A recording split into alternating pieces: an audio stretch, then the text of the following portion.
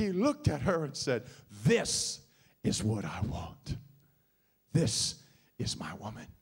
I'm not looking anywhere else. He took the royal crown and put it on her head and started the celebration again. The Bible says they had the feast of Esther. The celebration that had ended with Vashti's rebellion now introduced a brand new celebration in the world.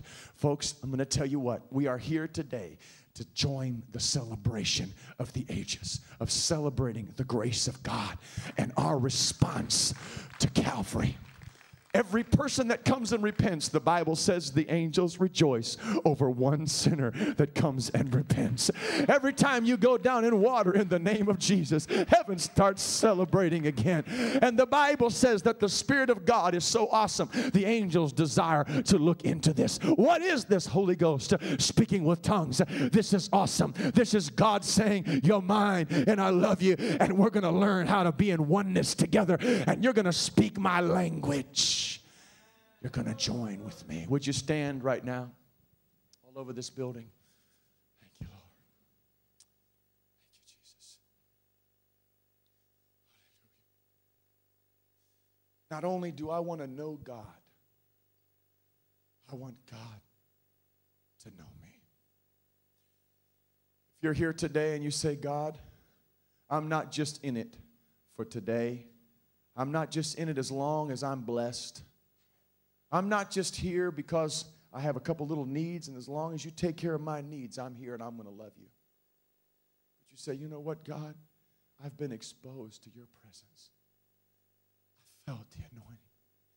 And if I could have this in my life all day, every day, then this is what I want.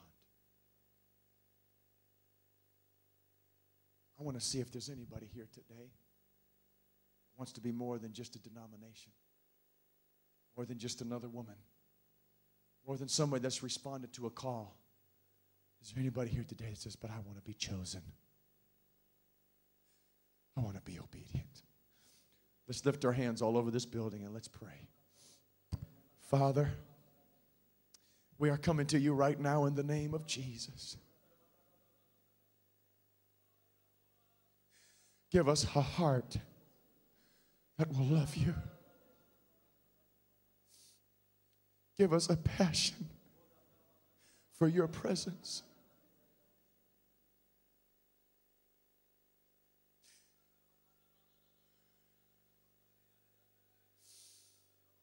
Jesus.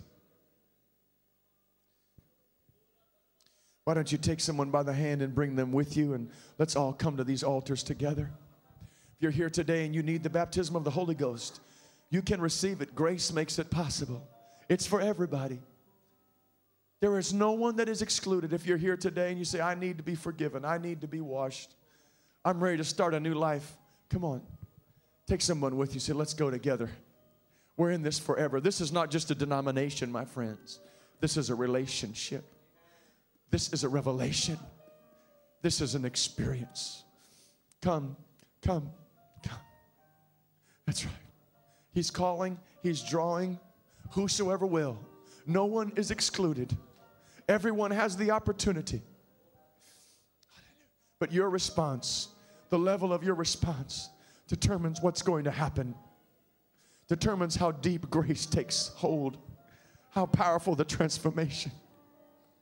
Tell him, I'm in it for forever. I don't want a one night stand.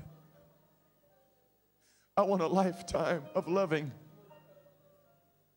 I felt the love.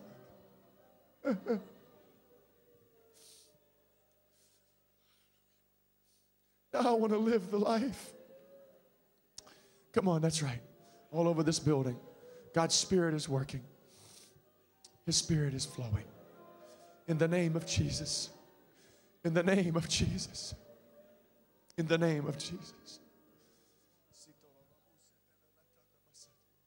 Those of you that already know, already have the flow of the Spirit of God, find someone and pray with them right now.